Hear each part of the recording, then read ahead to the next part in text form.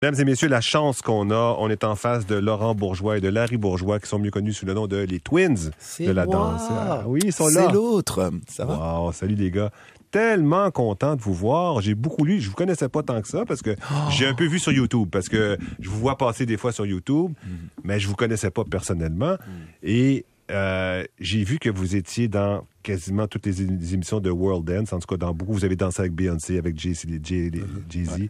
Vous avez fait l'émission Révolution. En fait, vous dansez, vous, c'est votre vie. Mm-hmm. Et là, vous avez l'immense générosité de faire une tournée dans les écoles. Oh. Expliquez-moi ça. Bah, Par là, où commencer? Ouais, je- moi je vais dire en plus court et puis après tu continues à argumenter comme tu veux. Vas-y. Euh, faire les plus grosses scènes du monde, c'est incroyable, oui, mais le faire avec une raison derrière, ça a plus de meaning pour moi. C'est la reconnaissance des enfants, de, de, de leur, de leur dire d'où on vient jusqu'à ce qu'on est devenu. Le fait qu'ils arrivent à voir en fait toutes les étapes d'un artiste, ça les aide à devenir meilleurs. Et sur scène, on pouvait pas expérimenter ça vraiment vrai. quand tu es sur scène avec Beyoncé, peu importe le message que tu veux donner pour aider les autres, t'as pas la parole. Et là, en fait, on a la parole plus la danse. Ouais. Ça, ça Ça, aide ça a du sens. Ça a beaucoup de sens. C'est-à-dire qu'on arrive à, à montrer qu'en fait, que le passage que nous, on a fait, ben, ils peuvent soit faire la même chose ou mieux. Non, mais c'est immensément généreux de votre part. Je veux dire, vous avez le choix entre être dans une émission qui va vous faire atteindre, connaître auprès de 100, euh, 1 million de personnes, ou d'être sur YouTube. euh, J'ai remarqué vos chiffres, là, il y a des 3 millions, il y a des 5 millions de vues. Ou aller dans une école où vous êtes vu seulement par 100 gamins, Ouais. puis vous choisissez d'aller dans l'école. Bah, c'est vrai on s'est beaucoup, euh, on s'est beaucoup concerté dessus. On s'est dit, c'est vrai que on aurait pu être à Dubaï avec Beyoncé, faire euh, faire notre show. On aurait pu être euh, à son Grammys, on aurait pu être à plein de choses. Mais c'est l'événement d'une personne qui ne s'éteindra jamais. Alors que ces enfants-là vont grandir et on ne sait pas s'ils vont bien grandir. Et c'est un truc qu'on a toujours fait. Ça a toujours été dans notre éducation de donner nos prochains. Mais on s'est dit, on s'est regardé, on s'est dit que là, c'était le moment où notre danse elle a un sens, où elle veut dire quelque chose à beaucoup de gens. Et je sais que pour beaucoup de personnes, par exemple même avant Révolution, pour ceux qui ne me connaissaient pas au Canada, se disaient que la danse, ben c'était juste de la danse. C'était pas possible de, de, se placer un dimanche soir et d'allumer sa télé pour regarder de la danse. Et ben maintenant, il y a des gens qui vivent de ça grâce à ça. Donc je peux laisser la place aux autres et en plus de ça, aller dans les écoles au lieu d'aller voir les gens dans les hôpitaux, d'aller à l'école et réparer ses enfants avant qu'ils se Alors, attends, Marie-Ève, Marie-Ève est avec moi, Ah mais avant que tu parles, il faut juste que je, je veux juste revenir sur le mot réparer les enfants. C'est un mot que vous avez beaucoup Ben oui. utilisé. Vous dites, et c'est magnifique, euh, vous dites, la danse, ça permet à un enfant d'exprimer ses émotions quand il ne le sait pas, les faire sortir par sa bouche. Et là, j'ai la photo devant moi, je vois tous ces enfants-là, là, ils ont de 9 ans peut-être à, à 13, 14 ans, ils vous Mhm. regardent avec des grands yeux, c'est ça qui se passe. là. C'est Ouais, exactement ouais. ça. C'est- c'est- on, a, on a des émotions vraiment. Eux-mêmes, ils n'étaient même pas prêts. En fait, se voir les, les, les élèves, leurs amis, euh, les professeurs, et quelquefois, il y a des parents qui regardent et qui pensent connaître leur enfant. Mm. Et nous, en une heure et demie, on arrive à dévoiler, en fait, ils arrivent à se dévoiler, à dire des choses qu'ils n'ont jamais dit à qui que ce soit, ni amis, ni famille, ni parents, et de corporellement pleurer, à ne, à ne pas comprendre comment ça se fait que, tu sais, que ça avait dans ses limites, j'ai envie de te dire ça, mais on utilise notre don pour pouvoir essayer de faire en sorte que leurs émotions puissent dégager, et quand ils y arrivent, eh ben, ils ont un effet émotionnel qu'ils ne contrôlent plus. On a essayé Et- sur les grands aussi en plus. On a Ah, essayé ça, sur, ah on a essayé ça sur les prend des profs. professeurs, des, des adultes et, Et tout. ça euh, touche plus parce qu'en fait tout le monde pense se connaître. Et c'est ces petites choses, je pense qu'on a. Et je pense que c'est une éducation aussi euh, très euh, très canadienne de d'être gentil avec tout le monde, de pas donner ses émotions directement. C'est ça ça va a, quand ça va. on a toujours dit que au Canada vous avez une une un côté très soigneux de dire ça va alors que ça va pas. Et, euh, et je ben, nous, on est juste désolé d'être trop franc avec le corps, mais euh, des fois, on le dit Le avec corps, il... Ah, c'est le ça, corps vous ne êtes très très gentil ici et c'est quelque chose que vous cachez parce que vous essayez de pas faire du mal aux autres et, euh, et bah, vous faites du mal à vous-même et quand vous explosez, vous explosez au mauvais endroit, au mauvais moment. Waouh!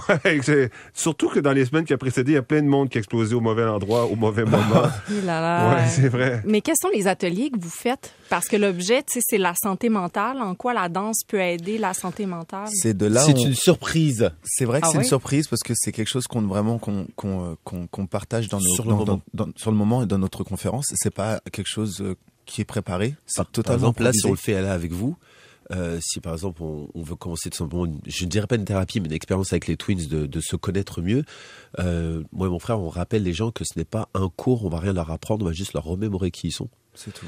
Et, euh, Et c'est, c'est, Je peux pas appeler je- ça des activités. C'est juste que non, ça, on pas une prend, activité, c'est l'expérience, c'est une expérience. Exactement. C'est une expérience. on laisse une musique passer et on leur, on leur demande. Alors, c'est, en fait, c'est ça. C'est que ils ont un rêve, peu importe si c'est architecte, euh, euh, vétérinaire ou peu importe ce que c'en est.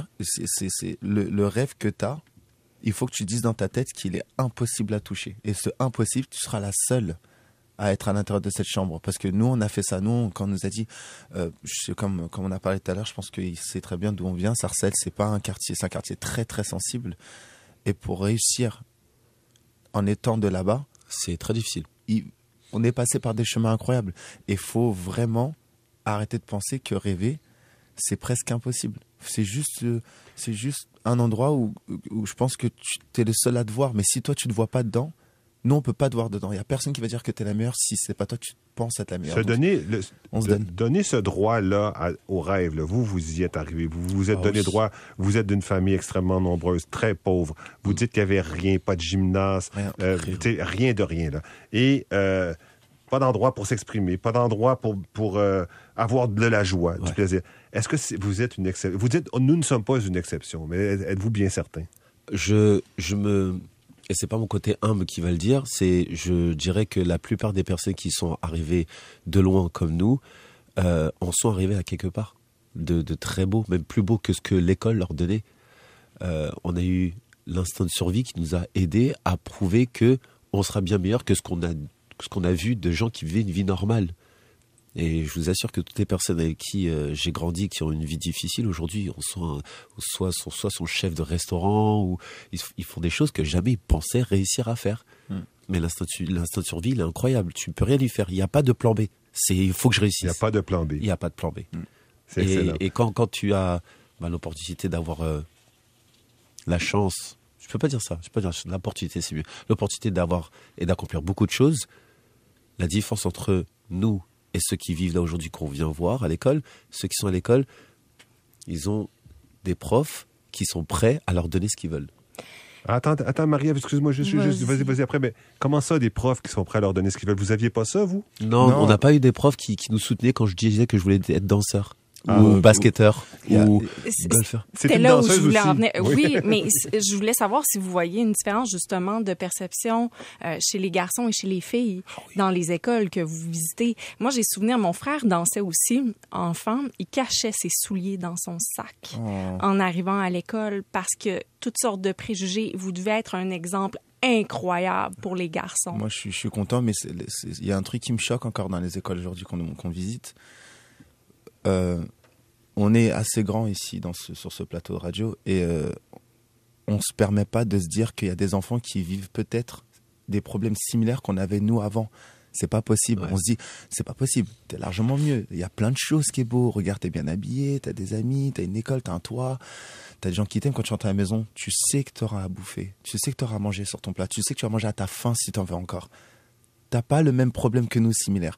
Ben, en fait, on s'en rend pas compte qu'il y a des enfants qui vivent les problèmes similaires qu'on avait quand on était jeune. Et ça, ben, en fait, on ferme les yeux. C'est un peu comme la guerre sur Instagram. On ferme un peu les yeux. Alors qu'il y a des enfants qui vivent des moments et je me, je, en fait, moi, je tombe en larmes devant les élèves. Ça m'arrive dur, dur, énormément. on est fragile aussi. ouais. Et euh, ça m'atteint parce que je me dis, c'est- vous n'avez pas le droit de faire ça. Parce que tu n'as pas le droit d'avoir les mêmes problèmes que moi. Je tombe en larmes peut-être trois fois par semaine. on peut faire qu'une seule école par jour. On peut pas en faire deux, c'est pas possible. Ah ouais. Ouais, Ouais, et- ouais, mais, mais pour, pour aller dans, dans Les le sujet que tu proposes Ouais. sur les garçons, euh, c'est vrai qu'on a un, un beau sujet pour eux, mais c'est dur à un garçon, un garçon de dire je t'aime. Alors que pour les filles, c'est plus facile pour leur, enfin pour elles, pour nous donner nos sentiments et ce qu'elles ressentent. Mais les garçons, justement, il y a, un- y a ce côté, je suis un mec, je suis un homme, je peux pas me permettre de faire ça. Et en fait, nous, on les aide à réussir à dire la vérité. On a eu des exemples, mais quand je vous dis incroyable, Mm. ils vont ils m'ont choqué toute ma vie. hein. Là, c'est là toute ma vie, je vais penser à eux, c'est sûr. Des mecs qui ont dit ouais, je suis perturbateur. D'accord, t'es perturbateur. Ils se Pourquoi présentent comme ça. Ouais, non, moi, je dis, je dis aux gens dans l'expérience, je dis, Soyez honnête. leve- levez les mains ceux qui sont perturbateurs et qui aimeraient changer. Et t'en as qui lèvent la main. Je dis, oh, les profs même ils sont choqués. Ils, ils ont dit qu'ils voulaient changer. J'ai dit, pourquoi tu perturbes la casse? Bah parce que euh, C'est plat. les cours c'est plat. Mais c'est comme ça, je dis d'accord, c'est plat. Et euh, tu veux dire quoi dans la vie? Architecte. Je dis d'accord, waouh, tu, tu, tu sais que... Ok, ok, fine. euh, les cours c'est plat, tu es architecte, tu te sens mieux à la maison ou à l'école? À l'école. Attends, tout va mal. Tu te sens mieux à l'école qu'à la maison? Tu es architecte, mais les cours c'est plat, donc tu fous la merde.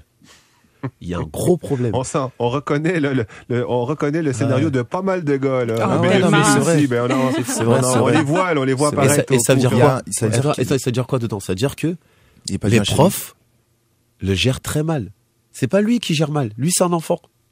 Donc les deuxièmes parents qui sont les professeurs sont censés lui donner l'envie d'avoir envie. Tu sais, mon frère dit toujours, on monte la porte, les clés, euh, on l'ouvre la porte, mais on peut pas vous pousser, on peut pas faire le travail à votre place. À partir du moment où les garçons ont levé la main, moi, je suis perturbateur. Qu'est-ce que vous faites avec eux? Bah, Laurent, euh, comme il l'a fait la dernière fois avec cet élève, je pense que savoir qu'un enfant qui, a un qui est perturbé et qui le sait, il a déjà gagné déjà. Ouais. Parce qu'un enfant qui ne le sait pas qui perturbe, c'est autre chose. Moi, je sais que j'étais un enfant perturbateur, mais parce que je faisais pas la loi chez moi. On était, on était, on est neuf enfants à la maison T'es neuf à la maison. et, euh, et on était les plus, les plus jeunes. J'étais pas écouté, j'étais invisible dans la rue et euh, à, à l'école on s'habillait comme des filles, on était au milieu de plein de pauvres. Donc en fait on on on n'avait pas on n'avait pas d'écoute nulle part. Donc en fait j'essaie juste de me faire rem- remarquer pour qu'on puisse pas m'oublier aujourd'hui. Donc il y avait ce petit côté là. Les enfants d'aujourd'hui, si ça se passe de la même manière comme mon frère lui a dit. Il a dit, écoute, tu es architecte, mais écoute une seule chose. Si tu veux réussir et t'es bien à l'école, il a bien de prononcer que les profs, changez la manière que vous lui parlez. Il y a un truc qu'il faut qu'il comprenne, qu'il qui, qui, qui- qui- il a besoin d'avoir un, un truc plus excitant, savoir que si tu es architecte, tu dois passer par là. Et pour après les ça, profs aussi. hein. et On après mentalement, parce que c'est mental health, mentalement, s'il y a quelque chose à la maison et qu'il veut pas en parler, on va faire les choses simples. Laurent il a twisté la chose, il a dit écoute mon enfant, si on change de rôle et que tu me vois parler mal au prof, et la prof c'est ta mère, et ta mère doit rentrer à la maison, et la chose qu'elle te dit, elle fait tu dis ça va maman? Ouais, à part ce jeune homme là qui continue à. Elle va penser à toi, elle va, Elle va toi. penser à toi alors qu'elle est en famille. Qu'est-ce que tu te rends compte la rage que tu as contre moi? Eh ben moi c'est ce On que se je connaît là même pas. T'imagines d'entendre ta mère euh, se plaindre d'un élève qui n'a pas le contrôle, qui bousille en fait ce qu'elle a prévu de faire pour ses élèves. Qu'est-ce que ça va te faire J'aurais la rage. C'est tout, juste la rage. J'ai dit, moi, dans mon temps, je serais allé à l'école avec elle. J'aurais pris le petit, je l'aurais mis dans un coin. Je, je me serais occupé de lui, parce que j'ai le droit. J'ai dit, moi, si je le frappe, personne ne dit rien. Tu vois ce que je veux dire? Je serais allé, je serais allé loin. J'ai dit, bah écoute, c'est les personnes donc, qui perturbent la classe, c'est des gens, de- c'est des gens qui ont une vie, des responsabilités et probablement une famille. Et ils parlent que de toi. Ils doivent avoir des étoiles dans les yeux en vous écoutant. Ben, Il en m'a dit, il m'a qu'on a changé toute sa vie. Il a dit qu'il a jamais on a eu un écouté retour, un on a eu un de retour des profs il y a, il y a, il y a quelques, quelques Ça, jours. c'était à l'école que vous êtes- à laquelle vous êtes allé à Montréal-Nord. Ouais, ouais. Et euh, on, est, ça on est très, très, Là, très, il y avait très. tous les. Et, et là, vous, pouvez aller dans plusieurs écoles. Je vois que bon, il y, a- il y a reste encore des écoles euh, qui peuvent vous recevoir. Ce Bien sont sûr. des ateliers de danse et en même temps de discussion. Euh, et ça s'appelle Kids Right Net- Network. Alors, Mm. K-I-D-S Right, W-R-I-T-E Network.com. Et il reste des dates possibles Oui. pour le mois de mars. C'est ça. Alors- En fait, on, on avait essayé de pas mettre trop de dates en mars parce qu'on est peut-être en répétition pour plein de choses, parce qu'on a aussi plein de projets artistiquement. Euh, donc on a beaucoup de voyages à entamer, donc je voulais pas être trop fatigué pour les élèves. J'ai pas envie d'être trop fatigué pour les Ouais. élèves, mais on est, euh, si on veut créer des surprises pour qu'au moins les élèves sachent que les artistes euh, sont encore euh, adaptés à faire plein de belles choses, on essaie de choquer le monde d'une autre manière. Il y a énormément de projets qui arrivent cette année pour les Twins qui va s'annoncer tellement bien que, Mais, les, euh, que les danseurs n'ont jamais accompli. Comme d'habitude, on fait des choses que les danseurs n'ont jamais fait. On ouvre les portes pour les gens pour leur faire comprendre qu'on n'abandonnera On jamais. continue à rêver. Et puis, On a la rage de vaincre. mais les enfants network, ça fait partie de Ça notre fait partie projet. de notre, de notre rêve et de notre projet. Donc on y est, on est dedans. On va devoir faire beaucoup d'allers-retours comme on le fait là, mais un peu moins.